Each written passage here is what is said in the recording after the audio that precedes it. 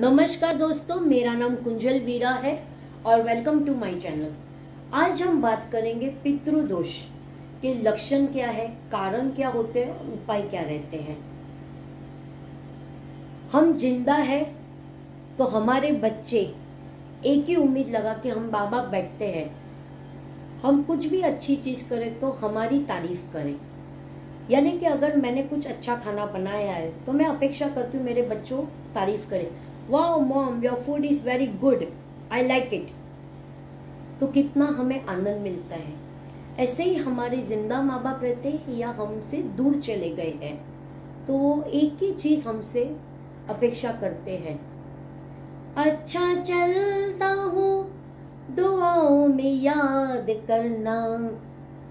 मेरी फ़िक्र को जुबा पर याद करना। मेरे ज़िक्र को जुबा पर याद करना। ऑलवेज माँ बाप ज़िंदा रहते हैं तो आपसे उम्मीद करते हैं।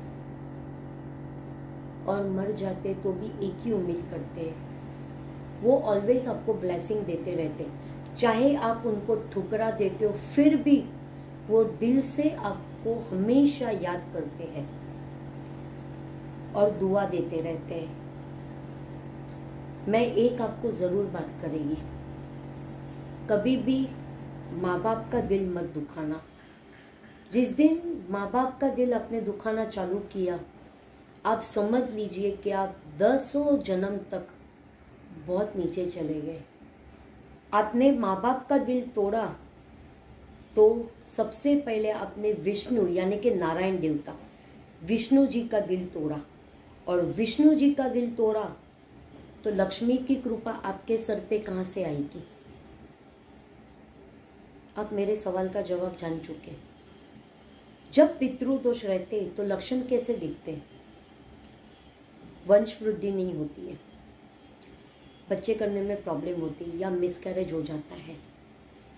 या अगर आपका बच्चा हो भी गया तो उसकी ग्रोथ नहीं होती है। उसको आगे बढ़ने में तकलीफ़ होती रहती है। हम अगर बिज़नेस में अच्छा कमाते हैं, सब कुछ अच्छा रहता है, कभी ना कभी सडनली हमारे बिज़नेस ब्लॉक हो जाते हैं। या तो हर चीज़ पे मीटिंग अच्छी कर देते हैं और बोलते ना, मुँह तक निवाला आके मेरे हाथ से छीन गया। या शादी में हम बहुत अच्छे हैं हमारा रेपुटेशन हम लोग काम धंधे बहुत अच्छे करते सब कुछ हमारा अच्छा है। हमारी शादी नहीं होती। या शादी देर होती है। या तो फिर शादी होके टूट जाती है। एंगेजमेंट होती है, टूट जाती है, शादी टूट जाती है। या तो हाँ हो हो के ना होती है। कारण क्या है? पितृदोष। कुंडली में पितृदोष करके मैंने पूजा पाठ करवा लिया। मेरा पितृदोष की मैंने पूजा करवा डाली।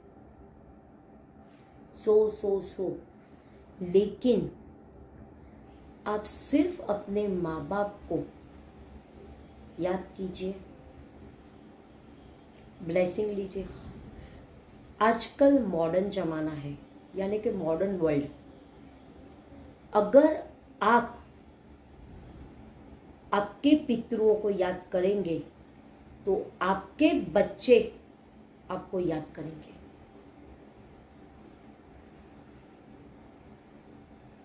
आपको सिर्फ़ अपने माँ बाप को हाथ जोड़ के आशीर्वाद लेना है, उनका नाम लेना है। सात पीढ़ियाँ तक आपको आशीर्वाद, जब पितरों के आशीर्वाद अगर आपको मिल जाते हैं आपको सुख संपत्ति की ज़रूरत क्या? अपने आप ही सब कुछ आपको आपने मांगा और आपको मिला। अगर जिस घर में पितरों का आशीर्वाद नहीं है, जिस घर में पितरों का अनादर हुआ है, अपमान हुआ है, वो कितने भी अच्छे पैसे कमा लो, कुछ भी कर लो, या बड़े आशियाने में आप रह लो, मन में शांति नहीं मिलती है। या तो बीमारियों से घिरे हुए रहते हो आप। ये मेरी बात आपको आज शायद लॉजिक लगे इन लॉजिक लगे, जो भी है, लेकिन मेरा एक अनुभव है। आज माँ बाप का आशीर्वाद अगर आपको मिलता है तो जन्नत तुम्हें नसीब होती है। आप जब भी अपनी भगवानों की पूजा करते हो कुल देवी कुल देवता जो भी नमाज़ पढ़ते हो, या तो मेडिटेशन करो, कुछ भी करो माँ बाप का आशीर्वाद किधर न किधर आपको अगर नहीं मिलता तो आप कितने भी बड़े आदमी क्यों न बन लो। मन में शांति नहीं मिलती, सुकून नहीं मिलता। मेरी एक ही आपसे रिक्वेस्ट है, आपके माँ बाप ज़िंदा है तो आप सिर्फ़ उनके से प्यार से बात करके बोले, आप कैसे हो, क्या चाहिए? वो आपसे और कुछ नहीं चाहते। जो दिल से उनकी दुआ निकलेगी, रूह से दुआ जो निकलेंगी, आप अपने जीवन में कहाँ से कहाँ पहुँच जाओगे? पैसा आने से, बड़े घर में आने से, या मैं अपने फ्रेंड्स के सामने कैसे बताऊँ? मेरे माँ बाप कैसे है? लॉजिक नहीं है। लॉजिक नहीं है। कुछ अच्छा कीजिए। पितरों के लक्षण यही है कि अगर आपको बिज़नेस में तकलीफ़ होती है ग्रोथ नहीं हो रहा है, बच्चों का ग्रोथ नहीं हो रहा है, या तो प्रेगनेंसी में तकलीफ़ होती है, बच्चे नहीं आते वंश वृद्धि नहीं बढ़ती है।